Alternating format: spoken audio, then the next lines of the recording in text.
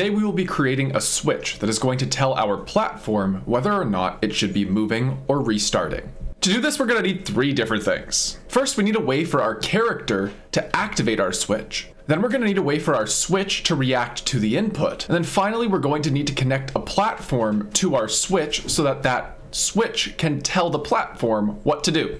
In order for our character to talk to the world, we're going to have to use a concept called a line trace. Basically, the way you can think about a line trace is whenever we press a button, we are going to send a line forward that is going to detect whether or not we hit something. And if it hits our switch, well then our switch is going to be interacted with and we are going to use our switch. So let's start by creating that new action now. We're gonna go into our first person folder and then we're gonna go into the input folder. We have to do this in two different parts. The first thing we're gonna do is go into actions and create a separate action. To create the action, we're going to right click, then go to input, and this is going to be an input action. And to follow the same cadence here, I'm going to call this IA underscore interact. Once that's done, we're going to open it up and all we're going to do is save this so that it stays in our project in case we crash. Going back to the general input folder, we're now going to open up the IMC default. This is the input mapping manager and this dictates what buttons cause which actions to take place. Already there is an action set up for jumping, moving, and looking. We're going to hit this little plus sign here and we're going to add another one for our interact. And hitting this little drop down here, I'm going to set interact to be the F key and then I'm good to save those changes. With that pre-work done, we're now good to go and start coding. Into our C++ classes, we can open up and we're going to create a new C++ class. This is going to be an actor because we're going to be placing it in the world and I'm going to call this my switch. And then I'm going to create this class. Once that's loaded, we're good to start making our changes. For the sake of reducing how many times I flip back and forth, do note that I have my switch files open, my character files open, and my moving platform files open. We're going to start with phase one, which is creating that line trace that I was talking about before. Let's start by going into our character's header file.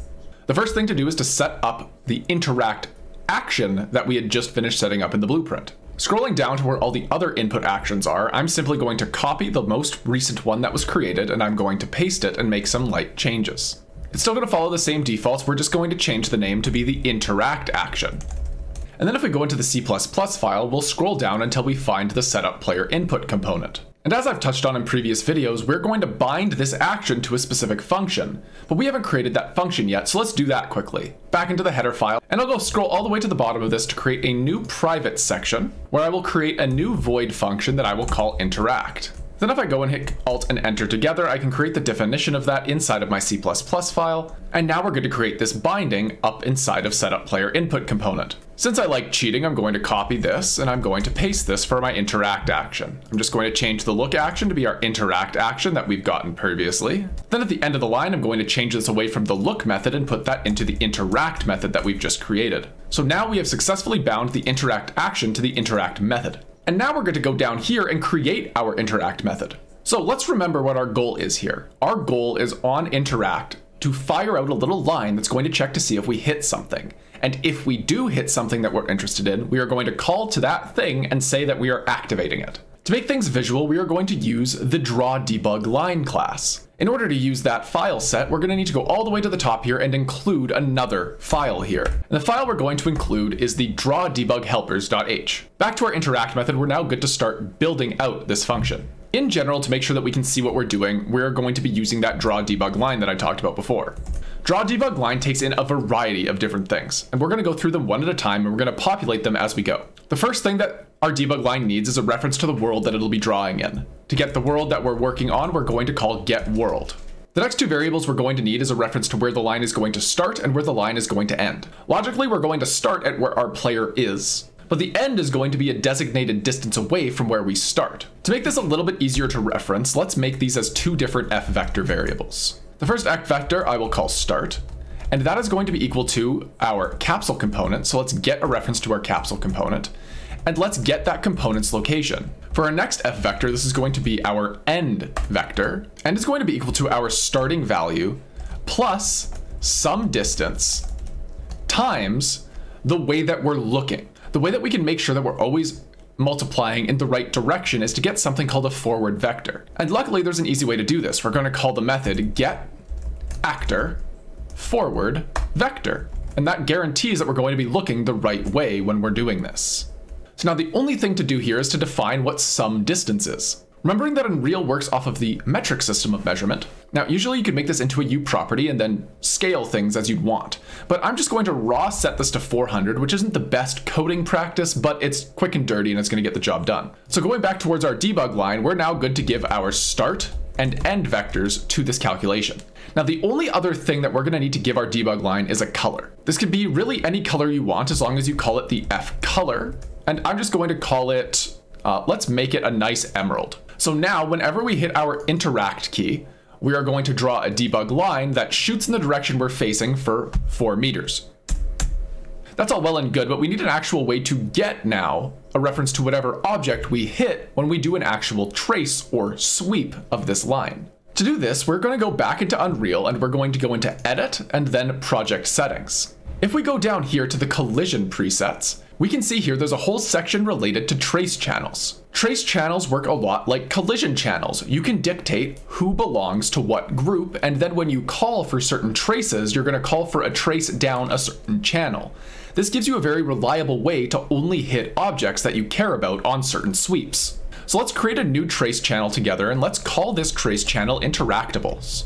And the default response for this is going to be to ignore because we want to manually set every single object that we want to be interactable. So once we accept, we can see this joins properly, but this won't actually show up inside of any of our blueprints until we've reloaded our project. So let's do that now. So now with our project reloaded, if I click on this platform that we have in the world here, and I go into their collision, and I expand this so that we can see everything, you will now be able to see that we have a new trace response called interactables that is set to ignore by default. Now we haven't actually created our switch objects yet, so we're not gonna set anything on the platform because our platform isn't interactable. But at least we now have a reference to this trace channel that we need to do a sweep on.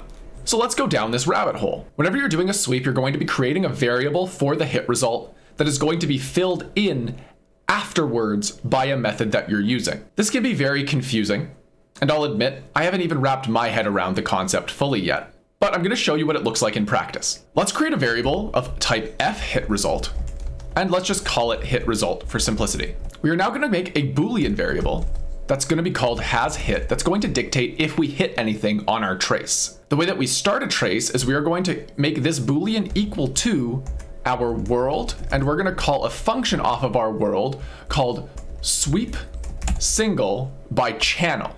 So this is going to say that we are going to sweep in that line based off of a channel that we're going to provide. The channel we care about is that interactable channel that we just created. Inside of this function, we need to give many things. The first is the variable we would like to store the hit result in. We can see here inside of the IntelliSense for this method that we have an f hit result called out hit. Whenever you see out in a variable name inside of these Unreal functions, it usually means that you have to declare the variable that you're going to be putting this data outside of the actual function call. And then it's going to put it there while this function is running. So when I put hit result here, this means that our hit result variable that we created is going to get populated by running this function. Now, after we give them the hit result that we want to populate, we're now going to give them those vectors that we created earlier. We're going to give them our start vector, and then we're going to give them our end vector. Next, we need to give them something called an fquat. I cannot pronounce how this full word actually sounds. But regardless, it's a math concept, and we're basically going to give it the default value. And the default value of an fquat is the identity. Now, the last things we need to give is we need to give the channel that we're going to be tracing on and the shape that the collision is going to be. Now, I know what you're thinking. The channel we're tracing on is called identifiables but that actually doesn't exist in terms of code. And I'm going to teach you right now how we can translate from the English that we created inside of our settings to something the code understands. If you go into your File Explorer and open up your project, there's a whole bunch of things available to you. In this case, we need to find a specific file. So inside of our game files, we're going to go into config, and then we're going to look for the default engine. And we can see that is right here. Let's open this with a notepad. This is going to give a reference to all of the different variables that exist inside of the engine trace channels are a part of the engine. So if I hit Control F to search through this and I look for interactables, we can see that once I spell it properly, interactables shows up here on this line. Then we can see here that the channel equals ECC underscore game trace channel 2. if we copy that value, that is what we're going to need to pass into our method here. So back to code, let's plop in the channel that we want to use, that interactables channel. And then lastly, what we need to provide is the shape. And the way we do this is we can call something called an F collision shape. And I'm going to call the method make sphere. That is going to have a radius provided. And I'm just going to say 100 for our radius. So go through and make sure you've properly put a comma in between each of your variables, and then we're now good to have this trace run.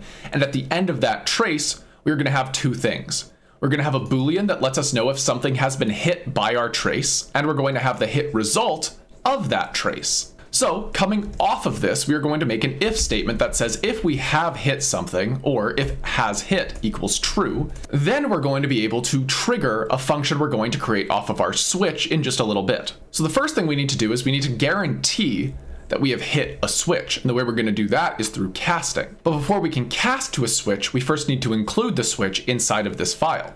So let's go over to our switch.cpp so that we can copy the include for the switch.h file and then go all the way to the top of our code and drag in yet another header file. Now with that out of the way, we're good to start this casting here. So I want to create a variable of type a switch, and that I want to be called our hit actor. And what we're going to do is we're going to cast into a switch the hit result that we've got dot get actor. This means we're going to get a reference from the hit result that is generated, and we're going to get the actor off of that hit result, and we're going to make sure that it's a switch. The way we're going to know it's a switch is through another if statement, and we're going to say if our hit actor is not equal to something called a null pointer. If the casting fails, well then it would be equal to the null pointer, and that's no good. But if this is not equal to a null pointer, that means we must have hit a switch, which means that we can then call a function off of that that we have yet to create. But to just fill in a little placeholder here, we're gonna call something off of hit actor, and let's call this method on activate. Obviously, we're going to get red squigglies here, but that's because we haven't created it yet. And before we go ahead and create our switch, we're gonna go into our moving platform now just to make sure that they are set up and ready to rumble. First, we're going to go into the moving platform's header file, and I'm going to create another U property. This U property is going to simply state if we should start by moving or not moving. Since we just want to set the default, we are going to make sure that we are only able to set the default. And the category that we're going to put this in is going to be that pathing category we set up in another lecture. And again, this is going to be a Boolean variable, and I'm going to call this is moving. So now inside of the moving platform C++ file, we're going to just quickly amend what we did in begin play. So what we have set up by default here is that if we are supposed to be moving, we will move. Because when we call this finalize control points, we are saying that they can start moving. So if we are not moving, or if is moving is false, then we're going to need to make sure we are not moving. And the way we make sure we're not moving is we're gonna call something off of our movement component called stop movement immediately. Very self-explanatory function, very lovely function. Now the next thing we're gonna do is create another method that's going to specifically handle when this input gets toggled. So into the header file quickly, we can create a public function that's going to be a void because it returns nothing. And this is going to be toggle movement. Creating a definition inside the C++ file, we're now good to toggle our movement. What's that gonna look like? Well, it's gonna be a series of if statements. If we are moving, or if moving is true, well, that means we're already in movement. And that means that we should set is moving to be false because we don't want to be moving after this. And then we should call that method we called earlier, or movement component, stop movement immediately. Next, we need to make sure that if we are not moving, we start moving. And I'm going to do that with an else if. So else if we are not moving, then we're going to set is moving to be true. Then we're going to call a method off of our movement component that is called restart movement. And I'm going to say that we should start moving in the positive direction by giving a positive number. So now with all of that done, we are good to go and create our actual switch now. Because reusing code is cool, I'm going to go into my moving platforms header file and I'm going to copy the code for the box collider and the platform mesh. Inside of my switches header file, I'm going to go and create that private section of variables and I'm going to use those exact same lines of code. The only thing I'm going to change is I'm going to not call this the platform mesh, I'm going to call this my switch mesh because naming conventions. Now I'm going to shamelessly steal from my moving platform C++ file. Then I'm going to go into my C++ file and I'm going to steal the declaration inside of the constructor for both of those. And I'll plop those in there. The only thing that needs to change is I change this to be our switch mesh. and I will call this our switches mesh. And then of course, to make sure there's no errors, we need to include our box component inside of this file. The next thing we're going to do is we're going to create a U property inside of our header file that's going to dictate the object that this switch is responsible for activating. This is going to be public in case we want to access it and change it. But we're going to create this U property now. This U property we're going to set to be edit anywhere, and we're going to make sure that blueprints are going to be able to read and write to this value. For a category, I'm just going to go ahead and create a new category that I'm going to call platform. And then I'm going to give this a meta tag the meta tag that I'm caring about here is the expose on spawn. And I'm going to make sure that this is equal to true. Remember, expose on spawn does need a capital O, but more importantly, expose on spawn is going to be what's responsible for making sure that each instance of our switch is going to have a different platform attached to it. Without this meta tag, this would not be an instance definable variable. So now we're good to forward declare the class that we're going to use, which is of course going to be our a moving platform class and I'm going to call this the connected platform. Now in order to follow through on what we created inside of our character earlier, I'm going to make a public void function called onActivate that is going to handle when we activate this switch. Creating this inside of my C++ file, we're now good to go and see what happens when this switch activates. And when our switch activates, we want to go to our connected platform, and we want to call a method off of our connected platform called toggle movement that we created before but you'll notice we're getting an error here because I didn't include the header file. So plopping our header file into the top and then going back down here to let IntelliSense rule the day, we're going to take our connected platform and we're going to call that method toggle movement that we had built previously. And now finally, after such a journey, we are done all the coding, so I'm going to save everything that we've worked on and I'm going to compile this now. With a successful compile, we are good to go ahead and right click on our switch to create a blueprint class based off of it. I will call this my switch and I will plop it in my content folder for simplicity. At this point, we can decide what our switch is going to look like, and since I am not very creative, my switch is going to look like a circle, and it's going to have a box collider inside of it. Now, inside of this box collider, the only thing we have to make sure that we are checking off is we have to go into our collision settings. And we're going to make sure that our collision presets are set to custom, so that we can go and toggle the collision response for our interactables trace channel to make sure that we block. This means that if we go and are targeting through this mesh, it's going to not only absorb and action the interact event, but it's going to stop us from penetrating through this object to interact with more than one object at the same time. So I'll compile and save that there, and now I'm good to drag my switch out into the world and I'll just position my switch neatly right here. And if I go into my switch's variables on the right hand side, we will see near the top that we have our connected platform.